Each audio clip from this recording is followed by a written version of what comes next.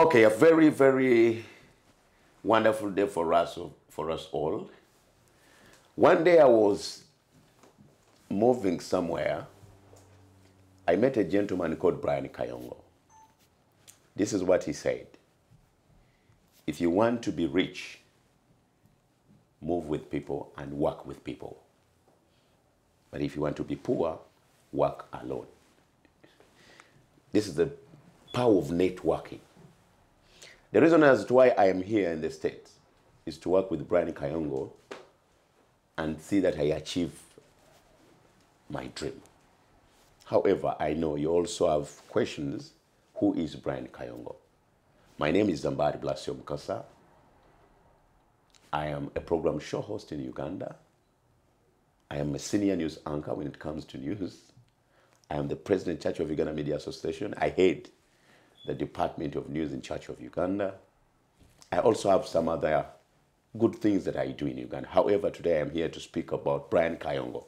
Brian Kayongo, Yes, you know, I'm honored me too. just to be close to you, and uh, I want to say thank you for helping others Yes. also know their worth. Sometimes we die without knowing the worth that we have in this world.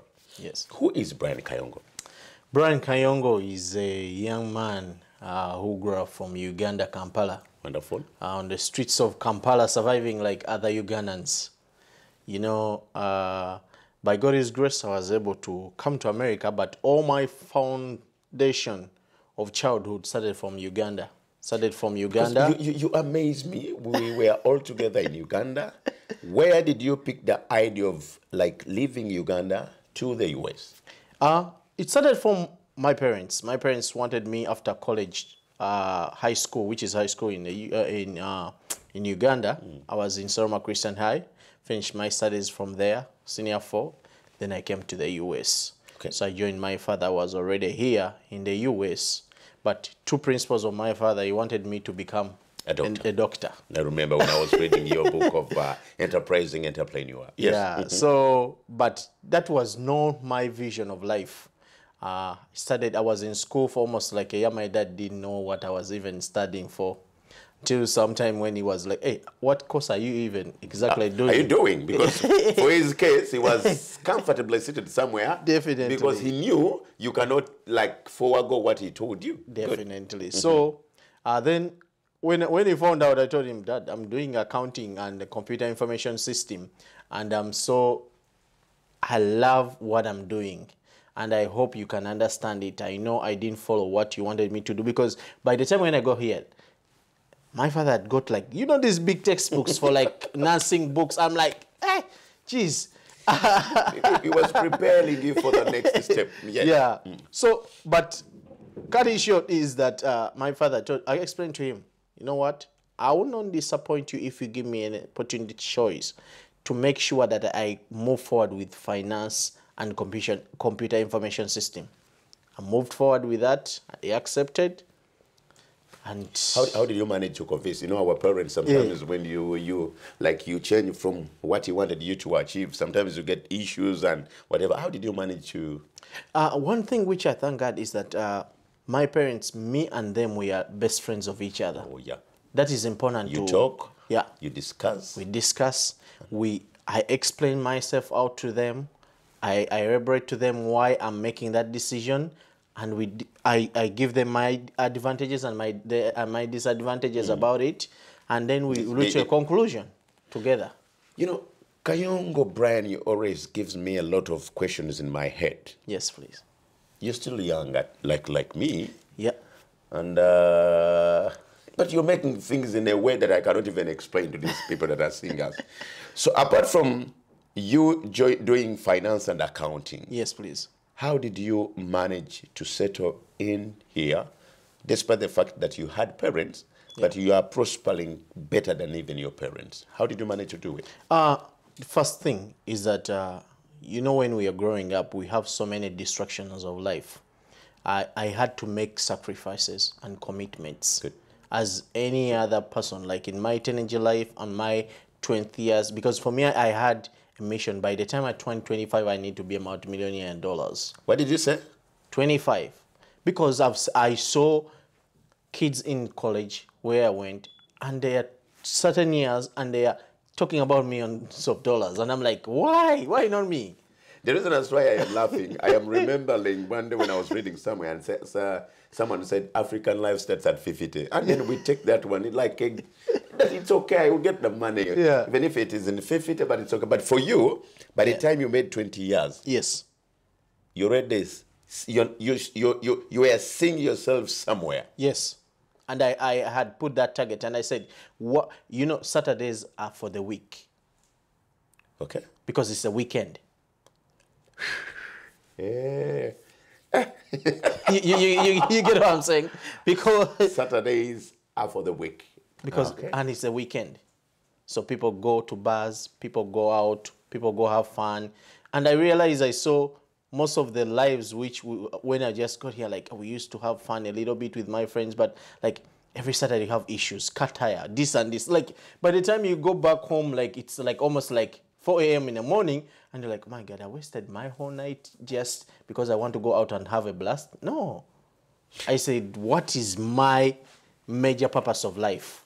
I don't know whether you're enjoying this interview, but the reason that's why I am inviting Brian Kayongo is one Yes. concept real estate Yeah. is another venture that we need to understand. How did you manage to start something into real estate? And it is amazing. You're not doing it in Uganda. Yeah. You're doing it in the States. Definitely. When I come to state, I only know a few items here. Yeah. How did you manage to put all items together and start such a big company that is dealing in real estate? Uh, I'll tell you, I started this company one principle patience and consistency, which so many people don't want to have in life. I make sure that if I'm going to enter into a certain industry, I'm not going to compete with anyone. I'm just going to be in this industry and dominate. Oh my God. Uh, you know, sorry to take you too far. Yes, please. We have a lot of things that we can think of when we come to America. Yes. Why real estate? Uh, real estate has been a dream because when I was in Uganda, my dad, he was here, but I was trying to help my mom and my dad to build our home house. And I was one heading all the contractors, making sure things are paid. I used to go to MoneyGram, pick, get the money, make a budget, send to my dad every video. You know, my dad built his home using a phone video. The other guy has, and he says, no, change that block. I'm like, He's so, that? he's so particular. He's so particular. to, to even smaller, smaller things that he could say, "No, leave it.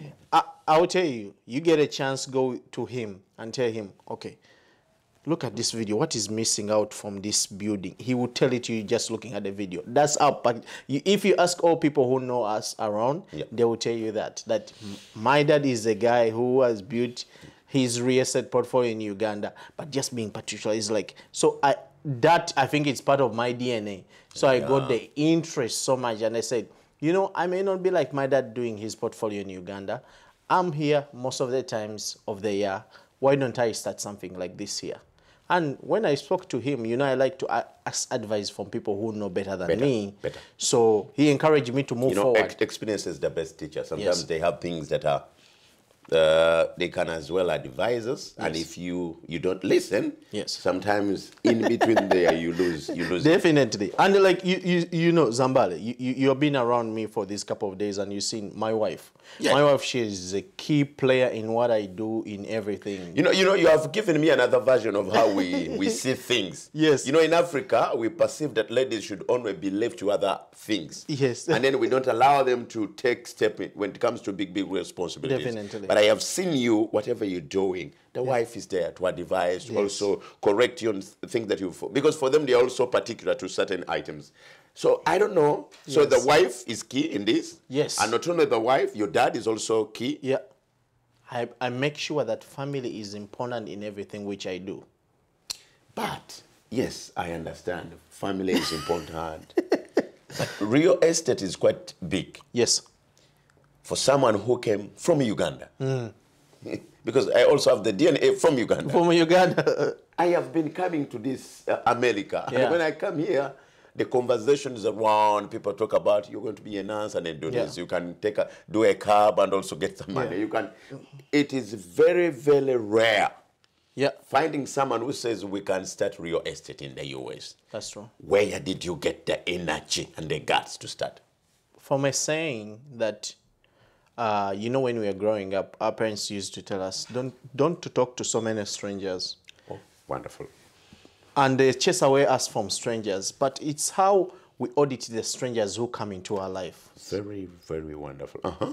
so for me i was lucky enough to open up a great opportunity of my life to so many strangers because like this the people who i had around me they couldn't change me so i had to be wise enough to open up an opportunity to, to be open-minded to meet other strangers out there Because the people you know, Yeah. they will always speak about things that you, you know. know But when you happen to visit other people, other strangers they will also be talking about things that you don't know, but No, for them they, they know. know. Oh, another brilliant way of uh, you know getting to know things in the US. So that's why you see me. I I encourage all the people around me that how many people did you try to meet today as new in your life, new strangers in your life? I encourage you them at least each day meet like one or two strangers. They will change your lives. I think my wife They will needs, impact my, my, your my life. wife needs to hear this this, this session, and uh, I am going to try as much as I can for her to see this. Yeah. It- she she's so confined in one one one one area. She's like, no, no, you know, you know, when you talk to people, people are no, you, people are bad. You you never, you know, people. We live by people. People make us who we are. I will tell you, like uh, the question you asked me, I want people to understand this. I was open minded to meet a lot of new strangers, and through those strangers, I met a group of Greek people. Greek, there's a lady, she's called Frederica. I met her. Good. And she was open minded about real estate. She opened my mind so much and she gave me the opportunity to teach me. You know, in life, you need to have those people who are willing to teach you, Not only teaching you to be your mentor. to be my mentor. Someone has to mentor into something that you don't know. Definitely. So that you use his experience for you to better yourself. That, that, that is a very so you allowed people new people, you allowed strangers to also be part of your life. Yes. And then whatever they shared with you, you took it as an eh, example An example. for you to start. Yeah. You're now into real estate. Yes. What have you achieved so far? I think real estate has opened for me an opportunity to have freedom. Like I, I can say I can be here with you on this interview and I don't worry about what is going to happen tomorrow. And I know tomorrow will be okay. That is one. That is one. Sense of, peace. Peace. And we are looking for sense of Peace. whoever you're seeing looking for money, they are also looking for sense, sense of, of peace. Yes. Oh, whoa, whoa. Because when you have money, yes. you can make things happen. When you have money, you can make a decision. When you have money, Add something, can have a direction. You can make a decision and they respect it. Yes, definitely. because we all make decisions. They, will, they will ask who has said so. Uh, Mr. uh, uh, uh, uh. so you make a decision and it is respected. respected. That is wonderful. And when you make money into whatever we do, you are helped to help a lot of lives. Like for me, my my vision as a person like is to help 10,000 entrepreneurs to become multimillionaires in dollars. That is our mission as Concept Real Estate. Through real estate investment, making sure they make the right proper investment. You need one deal like this to change your life One deal. like this to change your life. You don't need many. One deal like this, and it will change your life around. You said, what is your vision again? To change lives of 10,000 entrepreneurs to become multimillionaires. We want to change the lives of 10 Thousand entrepreneurs. 10,000 entrepreneurs to become multi-million. Yes. Ooh, I'm also going to be part of this. Can You Definitely. be, can you be some this? We, we- it's ah, so fun. Changing you into someone. You know, you have, you have not been you have been a nobody, but you want you're going to become a somebody. Definitely. Just following your, your footsteps, and then we are we are there to make it. A bit before we we we. We, we, we wrap it up because I know today we are just talking about a few things. You're going to enjoy other things when you come to the conference. Yes. What is going to happen? I know you've organized the Kickstarter conference. Yes, please. It's about your estate. So what should we expect into it? Oh, first of all, I want to tell viewer, our viewers, like, I've been able, good enough to meet so many strangers who now are going to be the good friends of mine who are going to be on stage this Saturday to help you, teach you the principles which you need to apply in your life to be successful in real estate. Okay. So one, all the procedures, Yes, all the principles, yes, all the protocol corners that you need to understand when it comes to Legal. real estate, the legal and whatever. Yes. We are going to talk about them. The and it's, field. it's, it- it's, it's not only Kayongo is going to talk about them. We are bringing the key experts, people who are in such fields to also talk about what you want to hear. Yes. Because I was about to ask, how did you maneuver, like laws and whatever? You know, in Uganda, it's okay. Yeah. For example, you know, sometimes I talk about Uganda because that is my mother country and I know about it. In Uganda, it's okay. It's not about law. Ah, it's Eh. about who you are Who you are and the family. Where are you coming from? They, they, will always ask, who is that? And he's the son of so and so. And it's, Eh. it's okay, it's okay. In Uganda, it's not about so much into law and whatever. But here, Yeah. Things have to Principles, be permits. and they're supposed to be straight. How did you maneuver with the permits and whatsoever? It's, uh, for example, I've worked with contractors. I've worked with uh, like uh, uh, inspectors. I've worked with legal firms who illegally structured our deals to be able to be protected as individuals in, investing in real estate. I've been able, like, when I, I am purchasing a, a, a property, my purchase and sale is done rightly. Like uh, my inspection is done rightly, so that I'm not making a wrong investment. And also, I'll tell you, by the time we buy one property, we have sniffed through more than 30 properties. And we have made sure those 30 properties are diligently reviewed through by our team. That's why for us when we encourage people like this is a certain class of investment you should do you should be investing in.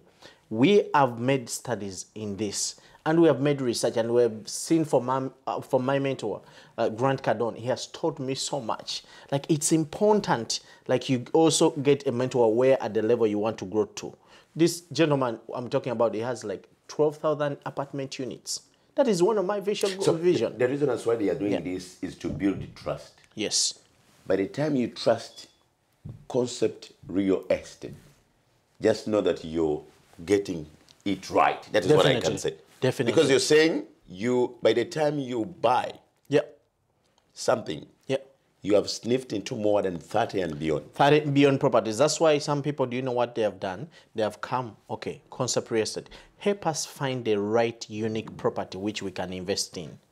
We are not real estate brokers. Also, as we work with brokers who have off-market deals and those who have on-market deals, but we have they meet our standards. And those are the standards which as we follow as a company. And when you become our client, we help you step by step from you getting pre-approved, from you working with the real estate agent we work with, from you getting your loan process and you closing your property and you managing your property. Some of the people don't want to have the headache of managing these properties. They want to just get their cash flow and they make sure the mortgage is paid and they make sure that everything is in order. That's what we do for them. That's why we are here. That's why we're in this business because we have reached a level of scaling it to the next level and we have a great team which can manage a, a bigger portfolio. You've talked about mortgage, and I was about to ask Yes. we all have issues when it comes to mortgage. and if you want to understand and know what we call mortgage financing, you don't need to miss out in this conference. I think that- Definitely. that is what we are going to talk about. Yes, Because please. everyone is talking about mortgage, mortgage, mortgage, Mortgage. mortgage, mortgage. So mortgage financing is key. Yes, definitely. You're, t- uh, you're, you're now letting me to remember my pastor. You know, my pastor, uh, Yeah. one day we were talking about uh, uh, financial breakthrough Yes. we were praying, as you know, praying, oh, financial stability and Yeah. financial. A lot of people, because people love praying, and it's okay. When you pray, it's okay. Yeah. But for him, it was sober enough and said, Yeah. but when we are talking about financial breakthrough, Yeah. please leave God alone. Financial breakthrough is about having a product Yes. and having a service. yes. Make the two known to the public, then you'll have the money. Money. What product you have Yeah. and what service are you giving out. Yeah. If we make them known to the public, then you're going to be successful. I will add on this. Yes. Jim Rohn said, Yes, you are paid to the value you bring to the marketplace. wonderful. We are, you're paying us because we are adding value Yes. to the market. Our service is simple. When you trust Concept Real Estate, we do all the services that you expect Yes. to, and the product we deal in is real Estate. estate. And we are now telling you, please come into the conference and see other things that we are going to explain. It is just a Kickstarter. Yeah. But you need to keep on coming. Coming. So that you can know the basics and the changes that are happening here and there. Real estate changes every day. It's Yes, because- dynamics. Because, you're, you're- you're not going to say, you know, I was there last year. Yeah. And then it's, it's now over. No, no, No. Things keep on changing. This is a Kickstarter, and it's going to be fun. Let me take you through of what we are going to do. On Friday, There 7th of April 2023, we are going to do to be so much into practical. Yes. We want to take you through of the things that we have uh, invested into so that you can also see and then get questions.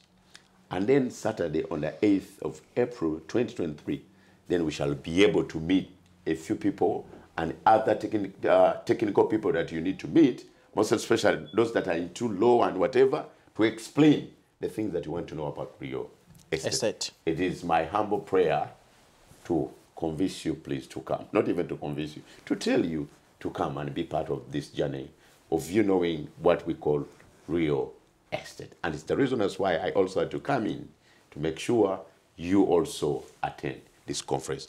Any last word that you can tell the public or the people who are now watching us? I'll tell the public, don't miss this opportunity. We are here to work together with you. We are here to help you, encourage you, make the right investment of your lifetime. The investment which you make in real estate, it has to be done right so that you don't live to regret the investment you have done. Very well. I invite you to the Concept Kickstarter 2023, Friday and Saturday. Be there and be there.